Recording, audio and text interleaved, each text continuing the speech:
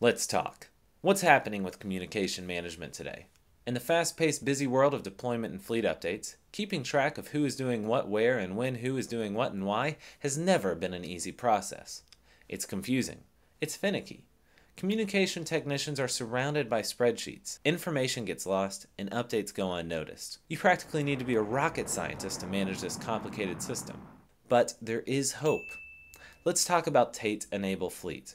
Tait Enable Fleet is an easy to use configuration management system that places control of your radio network firmly in the palm of your hand. Enable Fleet makes the firmware, licensing, and configuration information of every radio in your fleet available to you via an intuitive configurations management interface. This single interface gives you instant visibility and configuration control of every radio asset under your management. How does this work?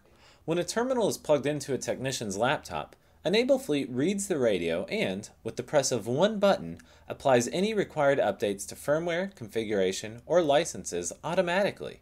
Enable Fleet then stores the results of those updates to create an audit trail that proves the fleet management work has taken place. The records against any asset can include timestamped attachments, like photos or signed documents. Enable Fleet has an over the air programming system, or OTAP, that synchronizes with the central database, ensuring an up-to-date picture of the fleet is maintained and available through a web-based dashboard for all fleet administrators. Radio fleet management just became a much more efficient and tidy process with greater control over project timelines. So now, you can breathe a big sigh of relief. Got a rather large fleet? No problem. If used during deployment, Enable Fleet will give you an accurate view of the entire fleet configuration. Regardless of your fleet size, you can have confidence your information will be correct and enjoy simpler management.